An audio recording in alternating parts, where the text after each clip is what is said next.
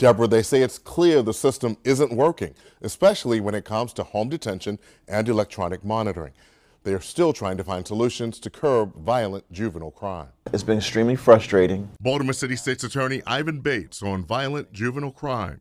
Many of those arrested are repeat offenders placed on GPS or electronic monitoring, devices designed to help keep track of an offender. It's not real time and no one's going to come get you.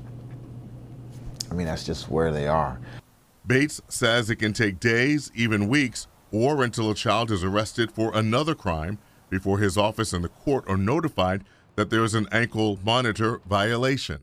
Oftentimes, what we're seeing is you may see a number of robberies. The young people have been placed on electronic home detention. Within hours, if not, you know, sooner, they go right back to the same location to let everybody know that they've been let out. Under a new law starting November 1st, the Department of Juvenile Services is supposed to notify the court within 24 hours of a violation. And so we. Baltimore County State's Attorney Scott Shellenberger voiced his frustrations yesterday on WBAL radio. He also mentioned this. If you're on monitoring and you're at home, uh, there's not a duty for the parent to necessarily call when you've leave leave that monitor. Now, I've heard some people like, "Oh, you want parents to snitch on your children?"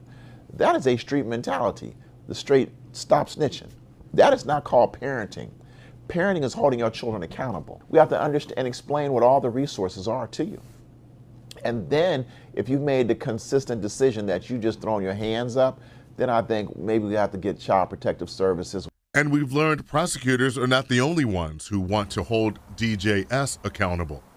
Defense attorney Warren Brown on WBAL Radio's TJ Smith Show. There are no consequences, nothing to, to, to frighten these kids away. They have uh, no clue as to what lay ahead of them in the adult system.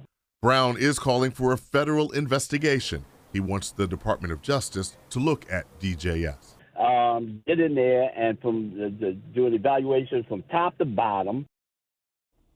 Now, Brown says the investigation should focus on the goals of juvenile services and how to reach them. 11 News Investigates did contact DJS about electronic monitoring. We're still waiting for a response. Reporting live, Barry Simms, WBAL TV 11 News.